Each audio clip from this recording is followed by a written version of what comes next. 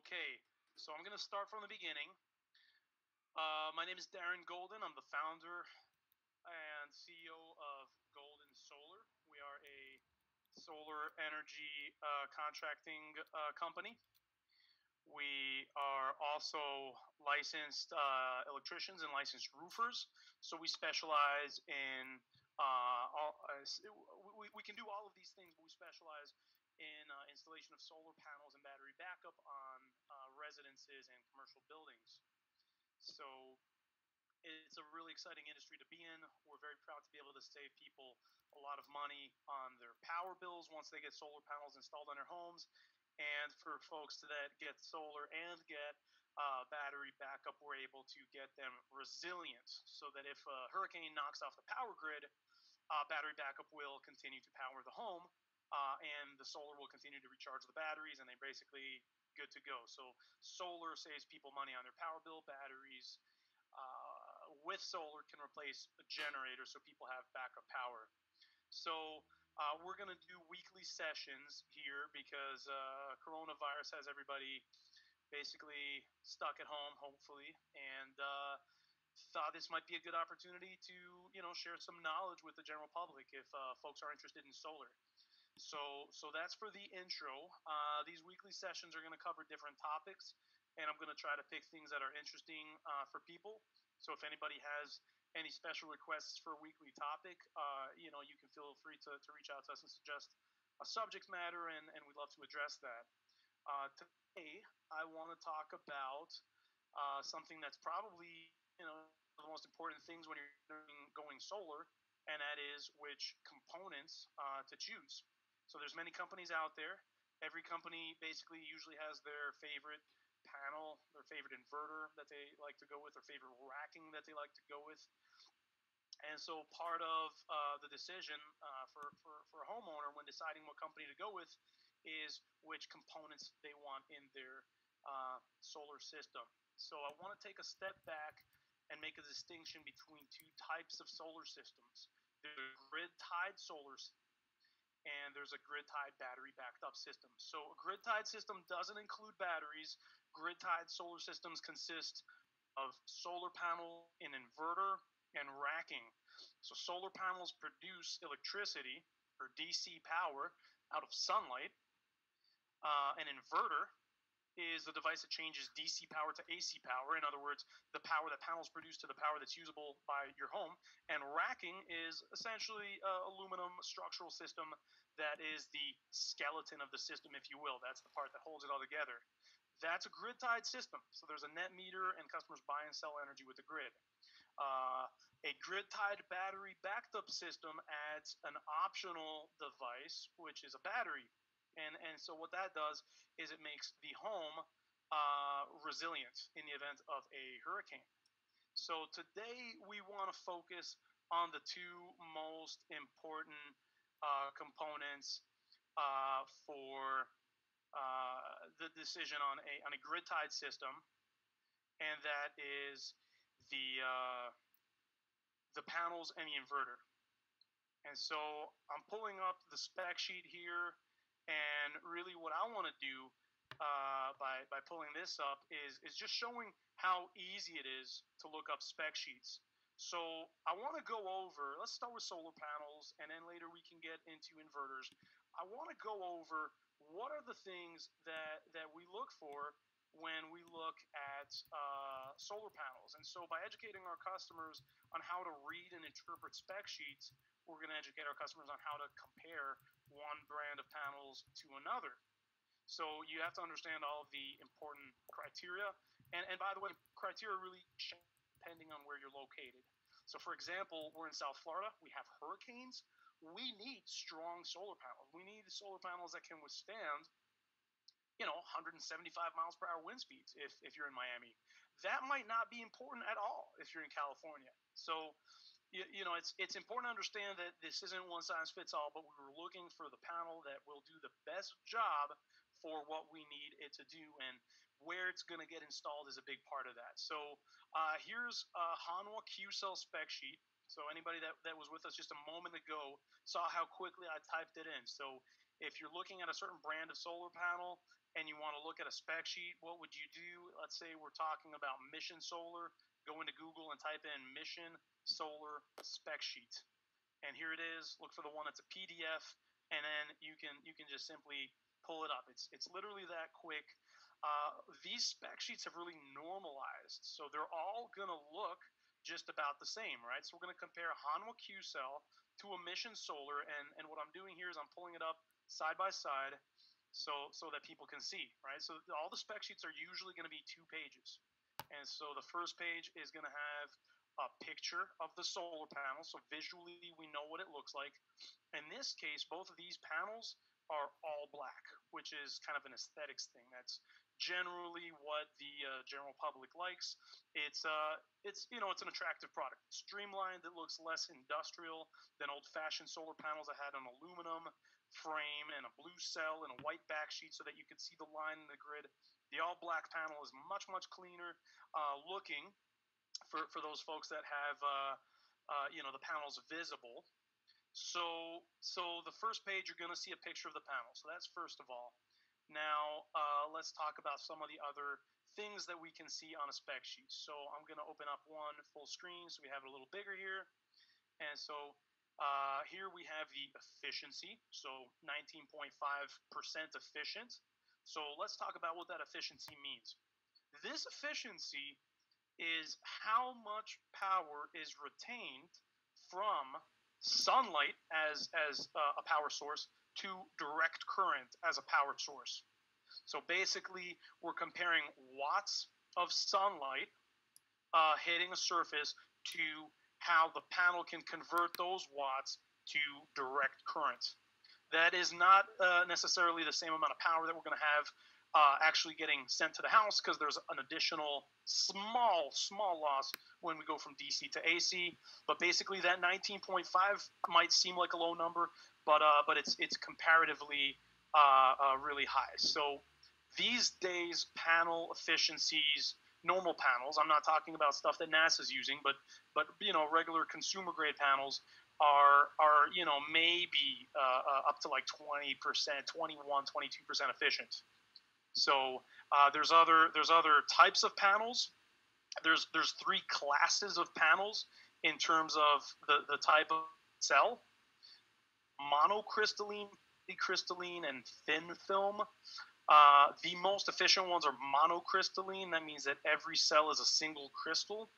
Uh, those are going to be the most efficient. So those are going to be the ones that are in the 20% efficiency range. Uh, basically, polycrystalline is something that people saw a lot of about five years ago. We don't really see those today. So if you're getting solar, only get monocrystalline. They're by far the most uh, efficient. So innovative all-weather technology. You know, okay, it, it produces power in low light conditions we definitely uh, want to uh, be able to make the distinction between you know fluff and, and, and real technical language. Um, so so really what we're always looking for is the numbers. So 19.5 is the efficiency. That's that's great. Uh, okay, so we're going to move on here. We live in Florida, and we have hurricanes, and so when a paddle manufacturer reaches out to us and says, "Hey, uh, would you like to consider buying our panel and using our panel, uh, it, it, you know, in your market?" My first question to them is, "What is your panel uplift rating? How is its structural performance?" Again, this is something that's probably particularly critical to South Florida. Again, we have hurricanes. So, so Goldin Solar is a company that's born out of Miami-Dade County which you know I dare say has the strictest building codes in the country in, in, terms of wind speeds. So you know you can you can feel free to, to go on Google and just search Florida wind map, uh, and and this is this is what we get. This is, so this is the building code. These are these are the things that we have to uh, you know meet in our installations. And what we see here is bands of wind speeds in terms of miles per hour and so I'm just going to zoom in here a little bit. Uh, th- this right here is like Miami Dade. So we really are in that 180, 185 range, right? Between the 180 and the 190. That is very, very, very high, right? So that's not a normal day. That's basically a Cat 5 hurricane. But what we're saying is we want to pick panels that can survive a Cat 5 hurricane, right? So how do we do that? Panels shouldn't really represent how many uh, miles per hour they're good for because that, that, that really is a function of the configuration of how it's installed but but and, and, so that's something that comes down to the engineering of the of the site specific design. But what uh, a panel can represent is its pressure rating, which is in pascals. Pascals is basically uh, force divided by area. So I think a pascal is one newton meter, uh, or, or, I'm sorry, one newton per meter squared. Um, you know, folks in the states in the U.S. are more uh, accustomed to is pounds per square foot, but but basically pascals is the same as pounds per square foot. There's just a conversion here. Um, these panels and, and, and so every panel has two types of uh, pressure ratings. There's a snow rating and a wind rating, which is another way of saying downward pressure or upward pressure, respectively. Obviously, we don't care about the snow rating in South Florida because we, we simply don't have snow. So, so what does this mean? Snow is something that's going to sit on a panel and it's going to be weight pushing down on a panel. That's why snow is also known as the uh, positive pressure. It's pushing down and it's also known as the uh, downward force.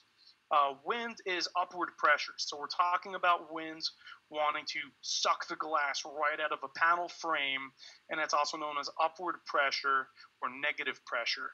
And so this this number right here is really the most critical thing to us when we look at panels. It's what is the wind load rating required.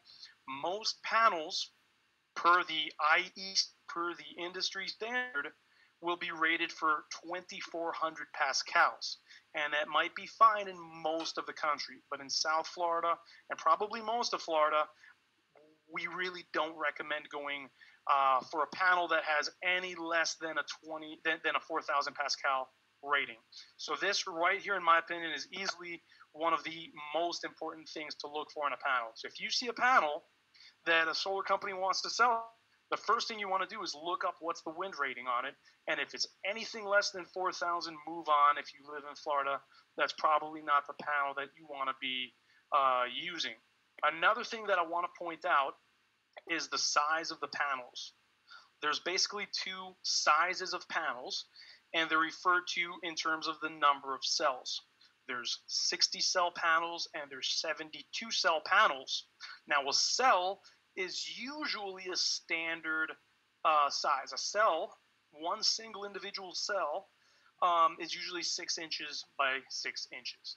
So a 60 cell panel is going to be six inches wide. I'm sorry, six cells wide by 10 cells tall. And so 6 by 10 is 60. A 72 cell panel is going to be six cells wide by 12 cells tall. So it's going to extend a little bit lower. So just to just to find an example there, uh, let's say uh, Q cell 72 cell panel spec sheet. The reason that I want to pull this up is I want to show people why uh, more watts per panel is not necessarily the best. So this is an example of a 72 cell panel. We've got 1, 2, 3, 4, 5, 6 by 1, 2, 3, 4, 5, 6, 7, 8, 9, 10, 11, 12. What is the wind uplift rating of the same brand? It's a Q cell panel, 70 cell panel, 2400 pascal. The 72 cell panel is 2400 pascals, and the uh, the, the, the 60 cell panel is uh, 4,000 Pascal. And, and if you think about it, that makes sense. The smaller the glass, the less wobblier it is because uh, you know that's just that's just how structure uh, works with with materials. So panels, of course, are also rated for the number of watts per panel. So this particular class of panel this brand, this Q-Cell Peak Duo Black G6 330 to 345, uh, comes in rated anywhere between 330, 335, 340, and 345. Why can one product with one, uh, you know, model have four or uh, yeah four different ratings? It's simple. Whether it's a 330, 335, 340, or 345, it's the exact same panel coming off exactly the same assembly line. Is they're not they're not four different assembly lines for four different power classes. But what it is is there's microscopic variances eh, because of how nuanced this product is. And as a panel comes off of the assembly line, it gets put into a calibrated testing chamber. It's connected to leads and it's flashed with standard test conditions, STC conditions. These are standard test conditions. It's 1,000 watts per meter squared and 25 degrees Celsius and 1.5 atmospheres of pressure if anybody wants to get really technical. Uh, but but basically, the panel's flashed at, at these standard test conditions, and then it's it's measured what the power uh, you know is reporting when it's flashed, and it can report anywhere between 330 to uh, to 345, and that's how it gets its its label, its nameplate rating, and that's how the same panels coming off the same assembly lines can be rated for four different sizes. I like to explain this in the context of explaining panel sizes because we like to, uh, you know, promote Q cell panels and, and we like to use, we only use 60 cell panels in Florida. And, and again, the reason is 4,000 Pascal rating versus uh, 2,400 Pascal rating. Again, bigger glass, wobblier glass. So one of the things you want to look out for is you definitely want the panel that's rated for the most watts. But you have to make sure that when he tells you the watt panel, that 66 panel. So efficiency in solar is defined for density, the amount of watt that it can convert to DC power divided by the area of the panel. Right? It's watts per square foot. That is that is the efficiency in terms of the, the conversion. Well, a panel's not more efficient if it has more watts and it's larger. It's just packing in more cells. So when we say that we're using 60 cell panels that are 340, and someone else comes in and says, well, my panels are 350, so they're better. Our first question is which panel is it? And if it's a 72 cell panel, more watts doesn't mean more efficient. It's just bigger, so it fit in more cells. So that's one of the things that you want to be really, uh, you know, cognizant of. And and again, I highly recommend looking at the spec sheet of the panel.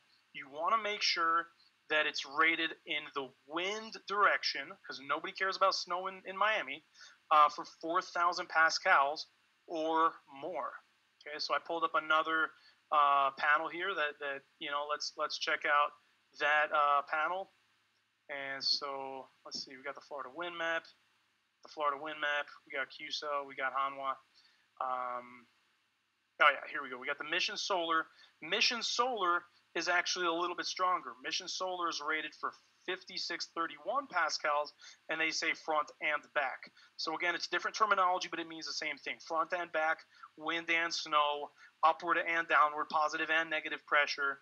Uh, this is a very strong um, panel. This is a structurally very, very strong panel. And they actually did the conversion from pascals to PSF. So 5631 pascals is 117 pounds per square foot. So that means that somebody that weighs 117 pounds could stand on a single square foot of the panel and it would be fine. So, so that's actually uh, the the design pressure of the panel. Okay, there's there's design pressure, there's test pressure. This is the design pressure. So that means we can actually install them based on these uh, conditions. But there's a trade-off, right? So so here we have a structurally stronger panel, but it's 300 to 310 watts. So again, these are these are the kinds of considerations. Do we want a stronger panel? Do we want a more efficient panel? Uh, again, these are both excellent products, but but one is better in one particular criteria than than uh, than the other. So I think the other one was like 19 percent efficient. This one is, is 18.65. So these are the things we really want to look at. We want to look at the panel strength. We want to look at the wattage. We want to look at the efficiency. Um, and then we want to look at the warranty. And then we want to look at the degradation. So, so let's take a step back. Every solar panel is going to experience something called degradation.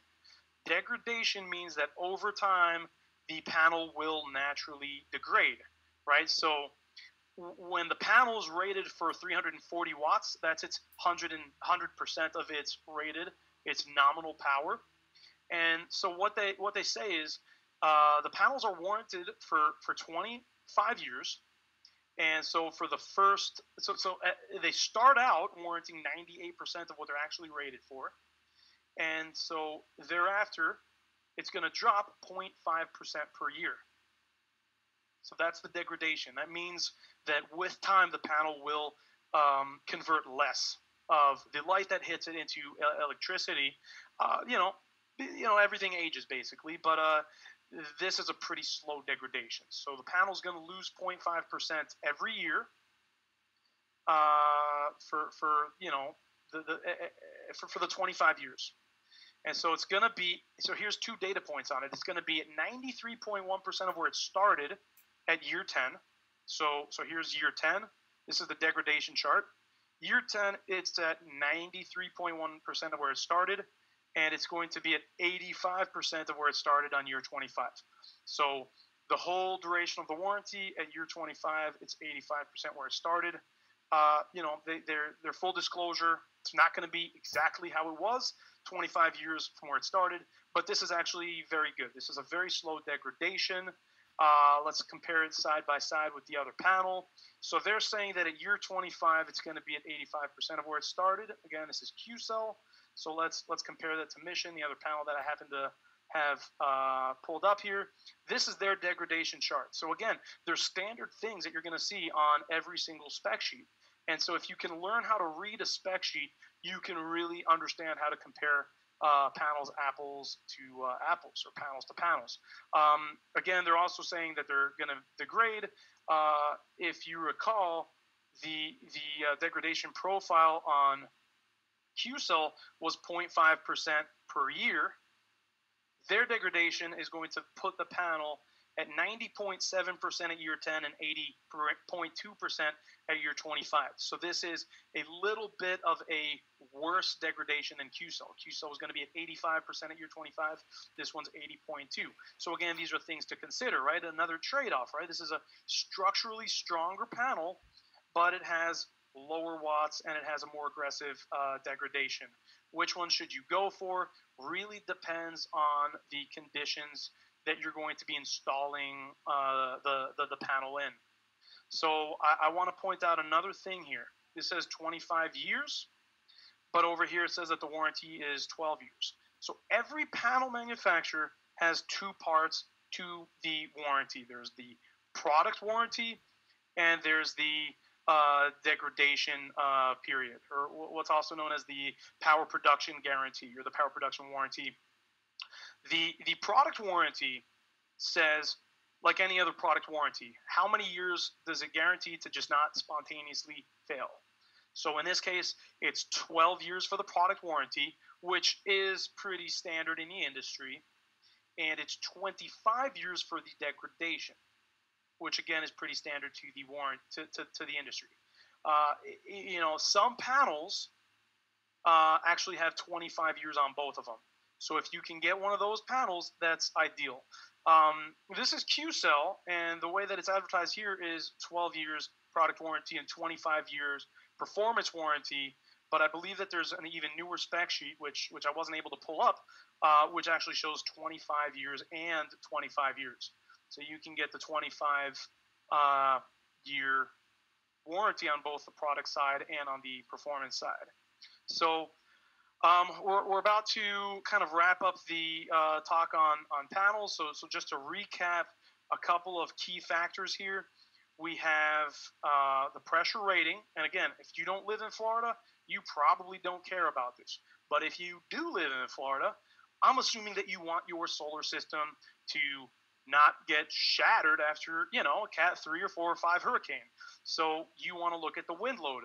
And again, I highly recommend 4,000 pascals or greater, no less than that. So again, the minimum and, and what many, many panels are in that in that particular uh, characteristic is 2,400 pascals. This will not uh, work in a Cat 5 hurricane. So we're talking about the panel's ability to resist wind sucking the glass right out of the frame.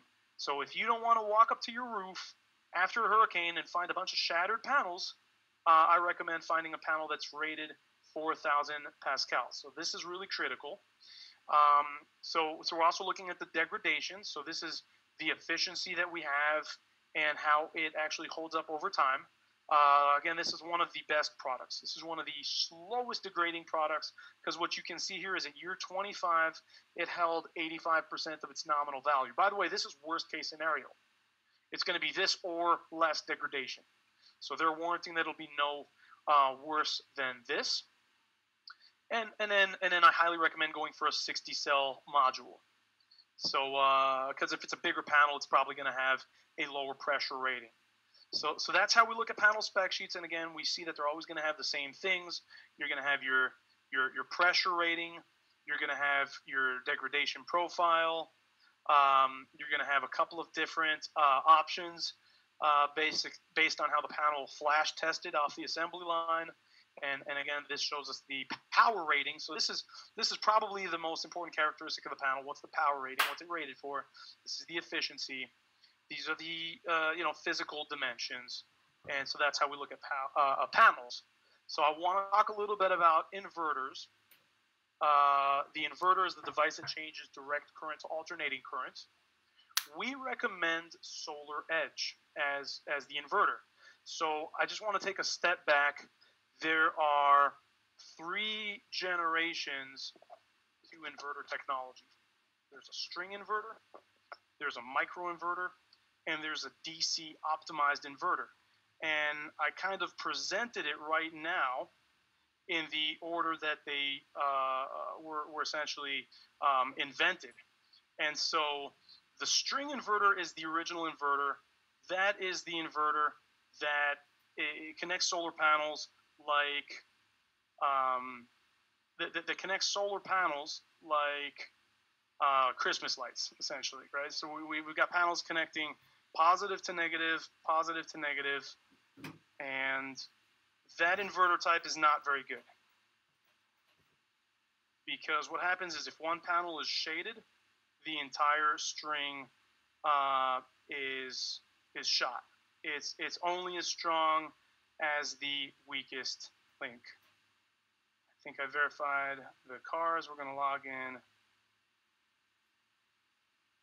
And so what I want to show you guys today is, is power monitoring. So in addition to the fact that solar uh, inverters change direct current that the panels produce to alternating current that the home uses, the inverter is also the brains of the system. So this is very important. When we install solar systems, and solar systems are, are you know, they're, they're, they're costly, we want to make sure that they're always working. You know, we present a system that's capable of producing electricity. We have our estimations on how much electricity it'll produce. We want to make sure that it's actually doing that, right? We model out an investment, we model out a return on the investment, and we expect over time to uh, be able to make that, that money back. And so that's true. I like to say that solar is an amazing investment, but there's a catch. There's a caveat. And that catch is that it's always working. And in addition to it always working, every single individual component has to always work. That's where Solar Edge comes in. So this is the third generation of inverter. This is the newer and best uh, brand out there. It's the most efficient. It's the most reliable, and um, this is this is what, what, what we present. And so what this does is it adds an additional device to the system. So traditional inverter just has one inverter for a whole system. Microinverters, which was the second generation that came out in the 90s, put one small inverter on every single solar panel. Uh, but the problem with that, it was really kind of overkill in technology. I like to use the analogy that it's like having an engine on every wheel. You don't need it. There's just way too much uh, to go wrong.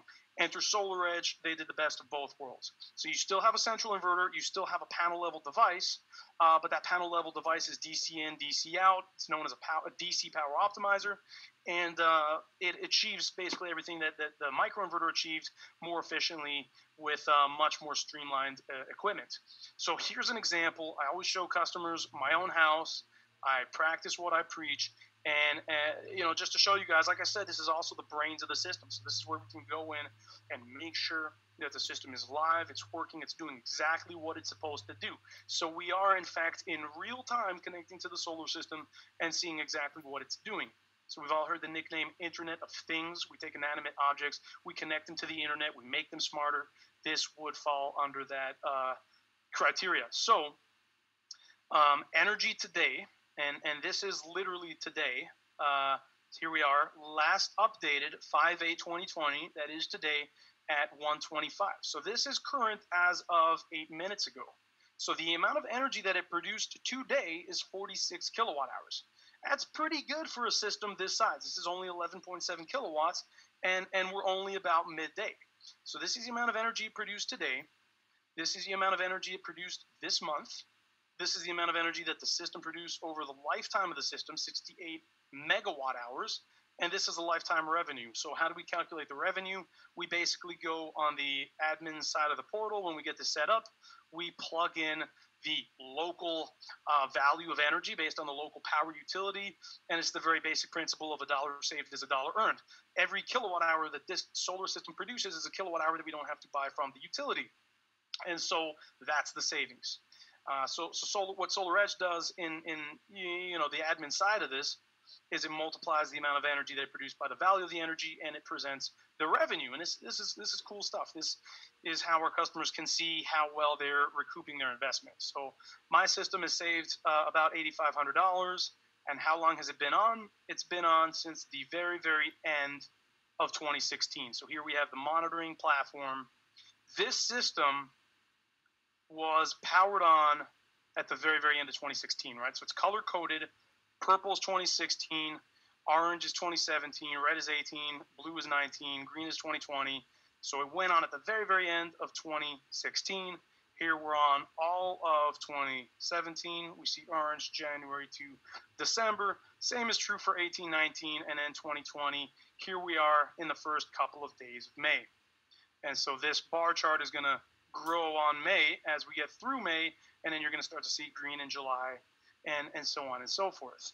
So I can say that in uh, you know less than three and a half years of the system being on, uh, I've I've recouped uh, about eighty five hundred dollars in uh, energy savings, right? So so that's really important for us to be able to see and demonstrate to our customers because because solar is uh, obviously besides just doing the right thing by the environment, it's also a, a financial investment that we have to understand.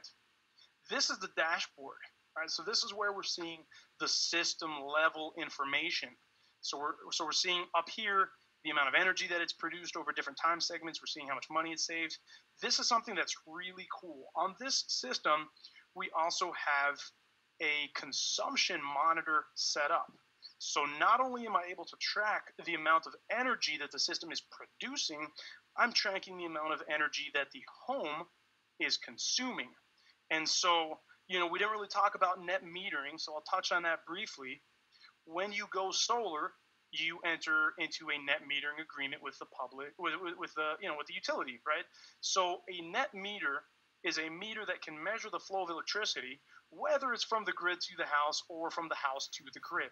And the reason we get a net meter is because uh, there's a discrepancy in timing between when you produce electricity and when you consume electricity. For example, we produce the most electricity during those peak sun hours, let's say between 11 and 1 o'clock. But that also might be when the kids are out to school and the parents are out to work and nobody's home or using any electricity. Everybody might use the most energy in, in the wee uh, hours in the morning when everybody's getting ready to get out, and everybody's going to, before the sun is really out, and, and everybody's going to be using a lot of electricity um, after the sun is set when everybody gets home. And so uh, there's a timing discrepancy, and that's where net metering uh, enters. So the idea here is that what happens is I'm going to show you guys a full day. This is this is monitoring uh, the graph of solar power uh, consumption and and basically that trade-off between buying and selling energy. So just to explain, this bell-shaped curve right here is all of the power that was produced by the solar system. So it makes sense. The solar system kicked on at about 6:30 in the morning, and the amount of power that the panels were producing got higher and higher and higher as the sun got more and more intense and directly overhead. Peaked out at, at, at what's known as solar noon. So solar noon is when the sun is at its peak, may or may not coincide with actual noon. Like in this case, solar noon was actually at one o'clock, and then the sun starts to set. So red is my consumption before I had any solar power to offset that consumption. That's in the morning. Red on this side is my consumption after the sun set. So what red translates to is import, meaning energy that I imported from the grid because I didn't have solar power at that particular time. Green is export.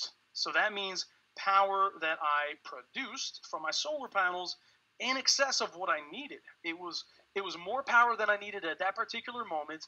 And so what did I do with it? I sent it right all back to the grid. I didn't have to do anything. Everything's automatic. That's how net metering works. And so what is blue? Blue is known as self-consumption. So what's self-consumption? Self-consumption is power that my solar panels produced that I myself used exactly at that very moment.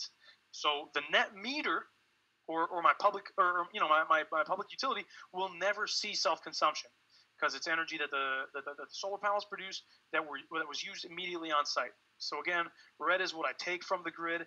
Green is what I give the, green, the, the grid back. Blue is what I use myself for my own solar power at that moment. If green equals red, then I'm net zero. In other words, if what I send the grid equals what I take from the grid, then I'm net zero. If green is more than red, I'm net positive. I produced more than I needed. That that's the case in in, in this day, which is five six, right? So this is two days ago. Um, I exported 61.82 kilowatt hours. I imported uh, 43.12 kilowatt hours. So I have uh, I don't know about 18 uh, kilowatt hours that I produced more than I needed, I get to rack those up and, and put those in my reserve and, and use on another day where it might be the, the, the reverse, where I might have used more than I produced. But this is something really cool. This really shows us how much solar is being produced, how much I'm consuming, when I'm consuming it, and how my consumption and production are comparing in terms of what's happening with the grid. So this is looking at one day. This is looking at the months of production. And then finally, what I want to show you, oh, so, so, so back here, this is showing real time what's happening. So at this very moment, the system is producing 10.85 kilowatts. That's at this very second. Uh, the house is only consuming 1.48 kilowatts. And so, what do I do with all that extra power? Goes right back to the grid. So, if the house was using more than the solar was supplying, then this arrow would be flipped and be going from the grid to the house. So the last thing I want to show you guys on this is what I call the magic of Solar Edge, which is that not only can I monitor system level performance, I can actually also monitor panel level performance. And so let's go let's go back to here. Just make a mental note. This is what the system looks like. It's this right side of the townhome. There's 41 panels right here. And so we map it out to look exactly like this. And I can actually see the amount of power that's being produced by every single panel individually. And so if there's, uh, and, and that's because we have a DC power optimizer, the other solar device or solar edge device on every single panel. So this is really cool. And, and this, by the way, this is how we keep the panel manufacturer, uh, you know, hold them to their word on the degradation profile. So if a panel underperforms, if it's degraded faster than it's supposed to, we're going to see that right here because we're going to see how each and every individual solar panel did relative to all the others. And so I can actually zoom in and I can see how many uh, kilowatt hours I have. I can look at the production of the array on different time segments. So if I put total, I'm going to see how much power each individual solar panel produced since the uh, time that this system was completely powered on. So each each uh, blue square is a solar panel. The green square right here is an inverter. So this is this is the grand total of all the panels. Um, I can look at them daily, weekly, monthly, yearly total. I like to show this. Not only am I going to see individual panel level data on power performance, I can see it on a timeline. I can see it in 15 minute increments. So I'm just going to hit the show playback And, and this is something really cool. So every one of these bell curves, you guessed it, is a day. So the sun comes up from darkness, starts at zero, it climbs and climbs and climbs until it gets to the peak at noon, and then the sun starts to set and it drops. So we see days that look, uh, you know, different. We see some different shapes here. The best looking shape right now is is the fifth. It's a perfect shaped bell curve. So what does this mean? This means that there was not a cloud in the sky. This means that it was a perfect day. Excuse me, it was a perfect day, and I got the maximum amount of solar power uh, that I possibly could have. So what I'm seeing on the panels, they're all black. Why are they all black? Why are they all showing zero watts? Because the timeline is before the sun hit the panels. So as soon as it goes, we're gonna get to you know seven in the morning. They light up. They get brighter and brighter and brighter. They're gonna get to their peak at solar noon, and then the sun's gonna start to set, and they're gonna get darker again. So they're color coded. This has been designed to be really user friendly. You don't have to be a statistician. You don't have to be a solar expert to look on your system and, and, and see if your system is uh, operating properly. You can just look at the colors. See if everything's blue and one's black, then you know that you have a problem with one panel. And so again, you know, we, we like to use this because number one, it's the most efficient, but number two, this is the best way for us to protect our customers, protect their investment by making sure, number one, that the system's working, number two, that every single individual component is working. So I'm going to pull it back, we're going to hit play, and we're going to see how the panels light up uh, and what they do, you know, over the week. I'm hitting play here, and what we've got is, uh, you know, panels reach noon. It's May 2nd. We're past noon. The sun is starting to set. And now it's nighttime and it is uh, darkness again. So now it's May 3rd. Panels start lighting up. They get to noon and then starts to set. This is particularly useful if you have, let's say, some trees that are maybe around the solar panels and right now it's okay, but maybe in a couple years the tree grows and there's going to be a partial threat of shading on the panel, and you want to know when is the right time to cut that tree? When is the time that that tree actually affects how the panels are doing? This will tell that full story. So north is up, east, south, west.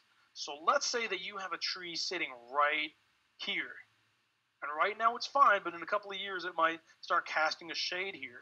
So if the tree is here, the time of day that we have to worry about the tree shadowing in that direction is going to be in the afternoon, right? The sun is going to go from east and to the west. And so when the sun is right here, right here on the west side, for a tree that's right here, it's going to shadow in this direction. And so, you know, in that scenario, you would see that these panels are darker than the others. And you'll know time to trim back the tree. So again, we have full visibility of the system uh, uh, every single day, panel level. This is the maximum efficiency. We can see how everything is doing, and and this is this is really how we make sure that our customers have rapid return on their investments. It's really doing everything that it should. So so what happened here? What happened on May 6th that this bell curve is not as uh, smooth as May 5th? Well, the answer is clouds you know, solar is an inconstant energy source. That means that the uh, amount, uh, or basically the weather is, is, is unpredictable and seasonal. Some days are beautiful. Some days are perfectly sunny the entire day.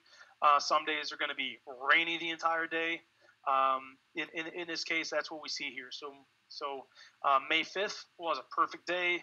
May 4th was an excellent day. Today is looking really good. The seventh was looking good. We had, you know, a little bit of clouds on the second and the third. Um, May sixth was, you know, was okay, but but we can definitely see that, that there was some clouds, sort of, a little bit of clouds all, all throughout the day. And so we get to we get to see everything that's happening here. Um, this is what a customer would see. So a customer would see their own account, they would see their own profile, they would be able to really track everything. Uh, Goldin Solar we get to track uh, all of the systems that, that we've installed. So just to just to give uh, everybody some sense of of scale, Uh, this is, I'm pulling up the map view, so we're going to pull up a Florida map. I'm going to take out searching for my own system, and I'm going to pull up, uh, you know, everything. And so we have 1,046 systems installed throughout Florida, which you know speaks to our experience. We've we've done this a lot. Uh, the grand total is 12.58 uh, megawatts. That's that's what we've installed, and and all of our systems have produced 20.12 gigawatt hours of energy. So that's how much energy has been produced by all of our systems in total. And you know, this is a map. I'm zoomed out, so it's just showing everything smack on uh, Florida. But as I zoom in, and this is really cool, we get to see how the systems uh, distribute. So roughly, we have 172 in the north, 854 south. But I'm going to zoom in a little more. Now we see. Uh, I like to get down to the you know tri county area. So we've got a couple in the Keys. We've got you know a couple hundred in Miami, a couple hundred in Broward, a couple hundred in Palm Beach, or, or you know a couple dozen in Palm Beach. And so as we as we zoom in, we can see how our uh, systems are spread out. So once it gets to a colorful uh, pin, that means that it's a specific residence. Uh, basically, we, we've got a lot of experience. We've, we've installed a lot of systems uh, throughout Florida. Um, I, sometimes I drive around and, and I see a bunch of systems and I don't even realize that, that it was installed by us. And then I'll go back on Solar Edge and I'll look and I'll say, oh, cool. Yeah, that's one of our systems. Or sometimes I'll stand from a distance and I can make out the, the rail profile and I'll know that, that, that it's our racking and see a system that we got to install. So, so this is kind of fun. It's fun to, to be able to say that we've had a real impact on, uh, you know, close to 1,100 uh, homes throughout Florida and, and help them uh, switch to renewable energy. So, uh, if anybody wants to ask uh, any questions, this would be a great time. Um, I, I, would be happy to answer anything that uh, that anybody's had to ask us on the subject of panels or inverters. We offer no cost, no commitment consultations. So if anybody wants to see if solar is a good fit for them, we would certainly love to sit down and uh, help you know evaluate that scenario. Uh, we have pretty sophisticated software. We can do simulations of rooftops. We start by understanding our customers' energy needs, and and then we go from there to uh, you know size out a system based on the available roof area. We see if the customer can achieve what's known as net zero, meaning offset all of their own electricity or not, and uh, you know, and then and then we go uh, from from there. So just wanted to show one last thing before I sign off. I just want to show everybody the uh, the accuracy and the reliability of this monitoring platform. I'm going to, to log into my FPL uh, account and, and, and show what it looks like to monitor how my energy consumption is doing uh, versus monitoring my solar system performance and consumption monitoring. Here's my email. Feel free to send me some. Here's my password. Good luck hacking that. Uh, we're going to log in and so uh, this is my this is my bill, right? Because uh, I'm just about net zero. So if you're completely net zero, the bill should be like nine dollars and change. And so uh, here we go to the energy dashboard. This is where you can see your consumption day by day, month by month. This is from FPL's perspective, right? This is from the perspective of the meter. So somebody that doesn't have solar all the bars on this bar chart are going to be green. That means that the uh, positive consumption. That means that they're buying energy from the grid. Gray bar is actually negative consumption. So, so any months that have gray bars are months that I produced more that I so sent more power than what I took off. So, so let's uh, you know, let's check out May. I'm gonna click here on May and uh, what I'd like to do is pull up the screens side by side. So back to SolarEdge, I'm going to go back to my account. And what I want to do is just look at what FPL calls delivered and received, which means energy that went from the grid to the house or energy that went from the house to the grid, respectively. And I just want to kind of like look at that. So let's go back a day. Let's go back one more day. This day is going to be May 5th. Let's find May 5th with FPL. So here we are in April. I'm going to go next month. So here is the 5th. Perfect. You see here it says delivered 34.41 and received 59.58. So that's the grid, uh, the grid's perspective, the net meter's perspective. In other words, I gave it 59.58 kilowatt hours, and I took from the grid 34.41 kilowatt hours, and we're going to compare that to what it's showing here. And so export is equivalent to the term uh, received from the grid. So FPL says 34.41, Solar Edge says 36.71. Okay, fair enough. Those are pretty close. Um, and then received is uh, 59.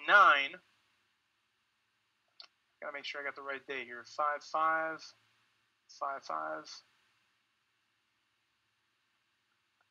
That would be a Tuesday. So this is May 7th, May 4th, May 5th. So this is interesting. Usually it's a little bit more uh, spot on. So yeah, so 39 and 27. So not really sure what's happening there. Let's try one more day. And so I'm going to go back here and go one day back. So here we've got the 4th. Yeah, so this is this is a little more accurate. Uh, the grid is saying that 50 kilowatt hours were received. Solar Edge is saying that 59 kilowatt hours were exported. The grid is saying that I took 37, and uh, SolarEdge is saying that imported 34. So, so that's kind of neat. You know, those, those numbers are pretty close. We get to we get to see that. Let's let's go back. Let's look at one more day. So, so this is kind of a neat way for us to really see if what we're seeing from the grid's perspective is what the grid is reporting. So uh, in this case, the grid has received 57 kilowatt hours. SolarEdge is saying only 50. Um, and then the import was 37. The grid is saying 47.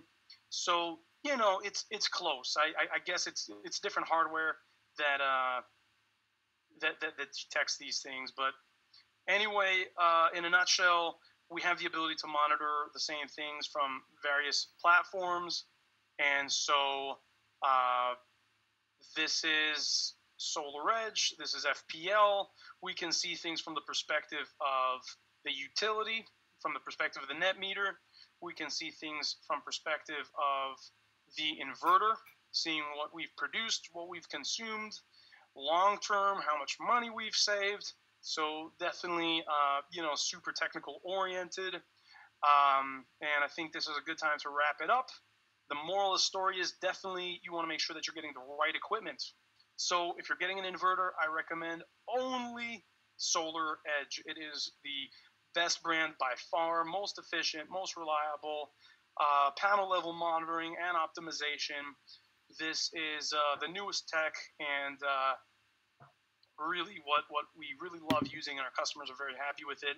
If you're going to be uh, looking at solar panels, my first criteria is it's got to be a 60 cell panel, not 72. You have to have a minimum 4,000 pascals. This is the uplift rating. I recommend uh, a power rating that's no less than 100. Ideally, you're getting like 340. That's what we would do if we were doing uh, Q cell panels. So, and you know, all black. It's a beautiful product.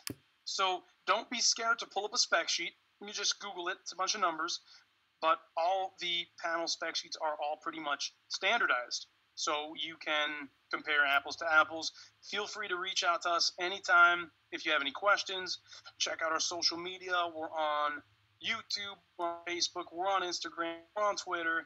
So if uh, If, if you want to reach out to us, give us a shout out. If you want a consultation, we will be happy to do that for free for you. If you want to talk to any of our happy customers, we'd be happy to get you in touch with them. Please uh, stop by, check us out. Next week, we're going to be doing another session. Should be a lot of fun. So uh, thanks so much for everybody that hung out with us today, and uh, we'll see you next time. Have fun.